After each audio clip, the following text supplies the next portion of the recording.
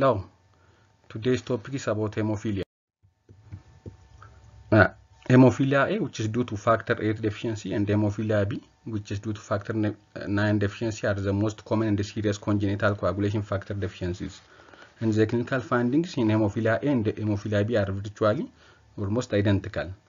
And hemophilia C is a bleeding disorder associated with a reduced level of uh, factor uh, 11 and reduced levels of the contact factor. Uh, contact factor means factor 12, high molecular weight kininogen, and prekallikrein are associated with significant prolongation of activated partial uh, thromboplastin time, but they are not associated with hemorrhage. So hemophilia and hemophilia B are the most common, the serious congenital coagulation factor deficiency, and we'll talk about them today. Uh, when we see pathophysiology of hemophilia and hemophilia B, uh, factor 8 and 9 participate in a complex re uh, required for the activation of factor 10 and together with phospholipid and the calcium they form the uh, tenase or factor uh, 10 activating complex. And factor 10 is activated by either the complex of factor 8 and 9 or the complex of tissue factor and the factor 7 and uh, complex of factor 7a and the tissue factor activates factor 9 to initiate clotting and uh, in the laboratory prothrombin time measures the activation of factor 10 by factor uh, 7 and it is therefore normal in a patient with hemophilia because hemophilia is due to factor 8 and the 9 deficiency. This doesn't affect the pt because pt measures the activation of factor 10 by factor 7 so it's normal. Uh, after injury the initial hemostatic event is formation of platelet plug together with generation of the fibrin clot which prevents further hemorrhage in hemophilia A and B, clot formation is delayed and is not uh, reversed. And inadequate thrombin generation leads to failure to form a tightly cross-linked uh, fibrin clot to support the platelet plug. And the patients with hemophilia slowly form a soft and uh, friable clot. And when untreated, bleeding occurs in a closed space such as a joint, and cessation of bleeding might be the result of tamponade.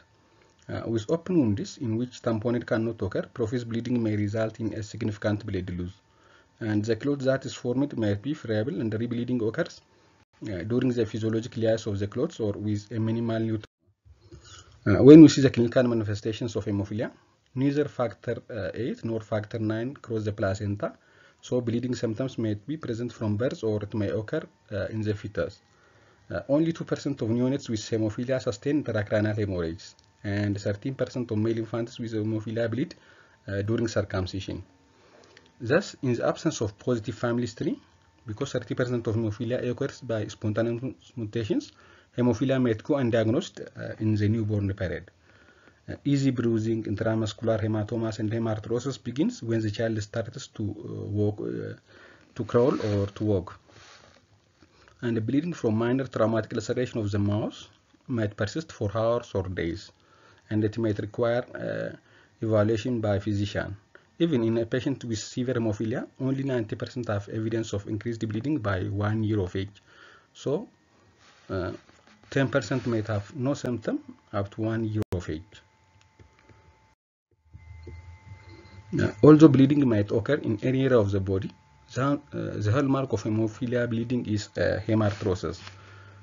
bleeding into the joint might be induced by minor trauma, and many hemarthroses are spontaneous and the earliest joint hemorrhages appear most often in the ankle. And they complain of a warm tingling sensation in the joint as the first sign of an early joint hemorrhage uh, before the, uh, they came to the uh, clinic. And repeated bleeding episodes into the same joint in a patient with severe hemophilia may result in a joint. And when we see laboratory finding in the diagnosis a reduced level of factor 8 or factor 9 will result in a laboratory finding of a prolonged PTT and uh, in this case PT is normal as we have said because uh, PT is uh, when factor 10 is activated by factor 7 so it is normal. Only PTT is affected. In severe hemophilia the PTT value is usually 2 to 3 times the upper limit of normal. Platelet count bleeding time PT thrombin time they are all normal. And the specific assay for factor 8 and 9 will confirm the diagnosis of hemophilia Uh, unless the patient has an inhibitory factor for factor 8 and 9, the mixing of normal plasma uh, with the patient's plasma results in a correction of PTT value. Uh, if correction does not occur on mixing, uh, it shows that there is an inhibitory uh, development. And in 25 to 35% of patients with hemophilia who receive infusions of factor 8 or 9, a factor specific antibody might uh, develop. And these antibodies are directed against the active clotting site and they are termed uh, inhibitors. In such patients, the quantitative uh, Bethesda assay for inhibitors should be uh, performed to measure the antibody titer. Uh, when we see about genetics and the classification of hemophilia, hemophilia occurs in approximately 1 in 5,000 males with a predominance of uh, hemophilia A or factor 8 deficiency which is responsible for around 85% and uh, 10 to 50% having factor 9 deficiency.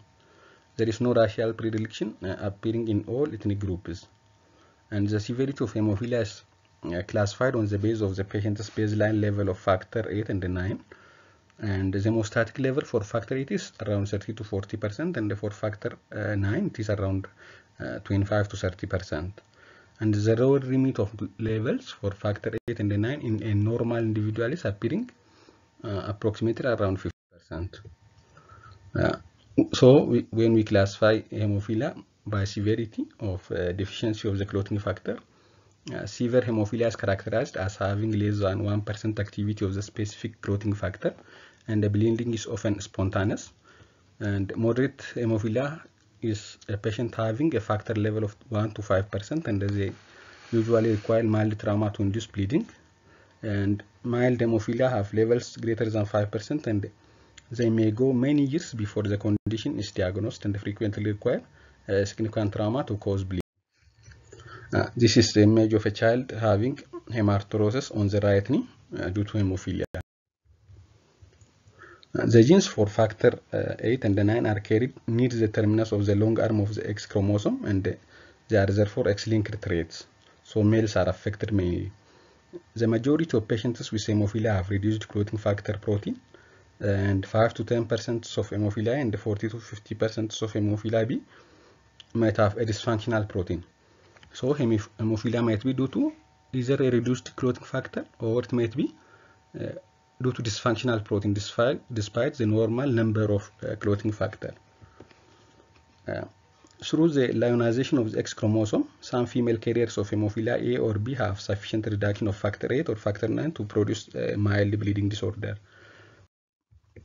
when we see about treatment, early and appropriate therapy is the hallmark of excellent hemophilia care and when mild to moderate bleeding occurs, values of uh, factors must be raised to hemostatic level around 35 to 50 percent range and for life-threatening hemorrhage uh, the dose should be aimed to achieve a level of 100 percent activity and with the availability of recombinant replacement products uh, currently prophylaxis is the standard of care for most children with severe hemophilia uh, to prevent spontaneous bleeding and early joint uh, deformities